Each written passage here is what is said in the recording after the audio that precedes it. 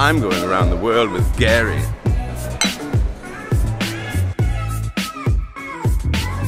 Follow me around the world to see the beauty, drink the life, and taste indulgence as I go. Overbored Abroad.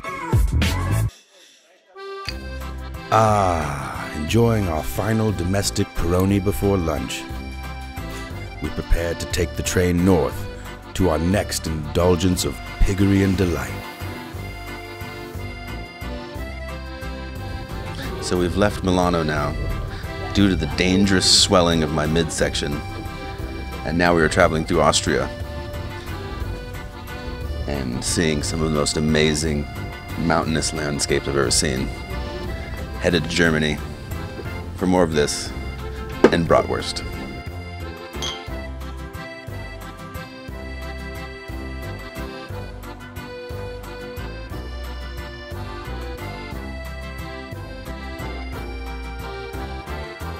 Guten evening.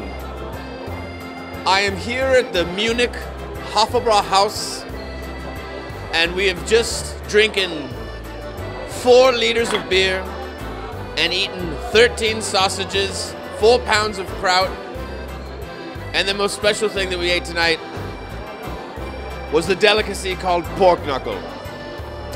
Deliciously prepared in a bed of thin gravy. Pork knuckle is probably the best meat item I've had in all of Europe so far. The Germans really know how to do it. Their beers are tall, and their meats are nice and deliciously gravy sopped. Now, we sit here as the night winds down, as we're about to get on the bus to head to Leipzig. See you on the other side. Our German friend said, Take the bus. It's going to be cheap and fun. But instead, it was pure hell. We are here in Leipzig, Germany, the fastest growing city in all of Germany, dining on some of the finest of Czechoslovakian foods, drinking all of the beers, while sponging our plates clean. And now washing it down with aged plum schnapps. Prost!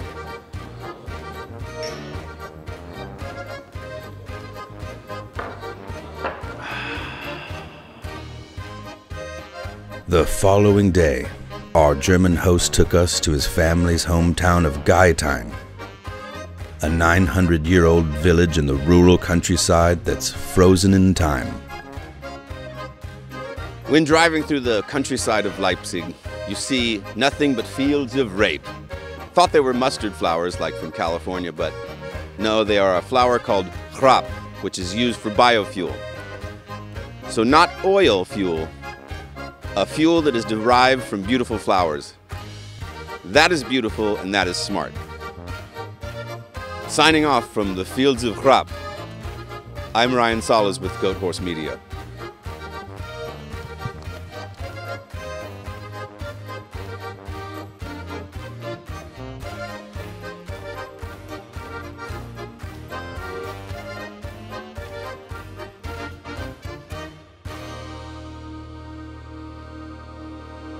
As we continue our journey through Germany, we find ourselves in the city of Koningstein, at the Koningstein Fortress.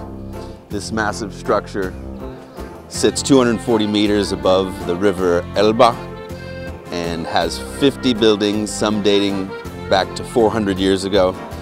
It's magnificent, it's huge, it's built on a giant rock, much like the rock you see back here, and it's never been invaded since it's been built. It's very impressive. The Germans, they make big beers, they make giant sausages, and giant fortresses.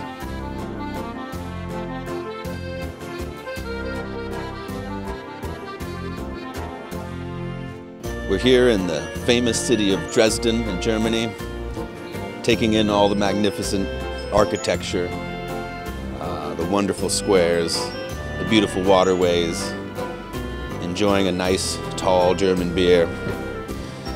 It's been quite the tour through Germany, from Leipzig to Gaitheim to Kroningstein uh, and then here to Dresden. Now we're trying to decide whether to go to Berlin or straight to Amsterdam. These are the tough decisions we have to make on the fly with Goathorse Media. We will let you know later in the day what our decision is at the train station. Prost!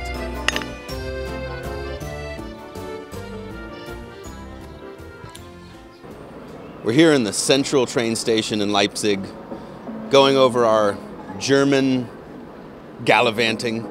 It's been quite the tour. Now we're heading to Berlin. We thought we'd switch it up a little bit now and drink a giant beer.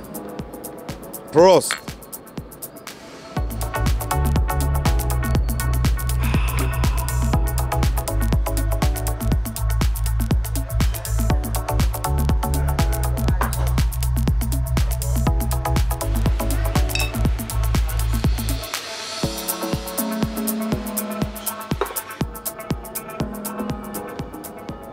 Church bell rings once more as we are here in Berlin, signaling for another gigantic meal and another gigantic beer before we venture out and sightsee.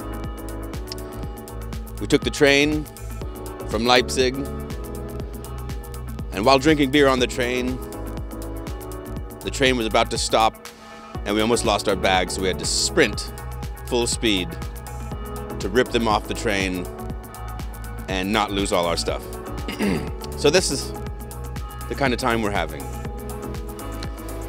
And that's why they're ringing the bell so much. It's for our passion and our resilience. Heading down to the Berlin Wall next. Check back in in a second.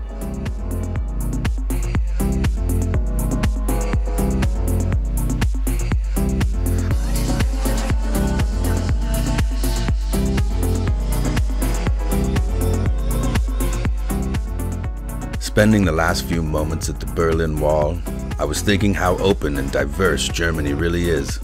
To let a carefree American pig out on all their delicious foods and booze the way I did. You see that?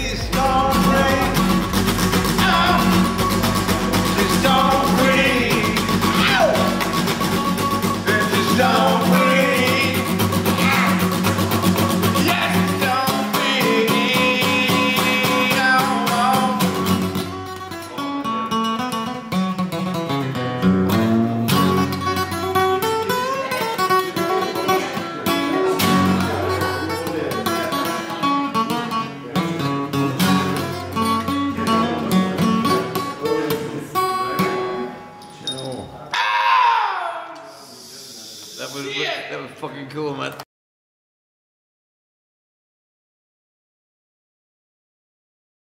Destroyed me, miss.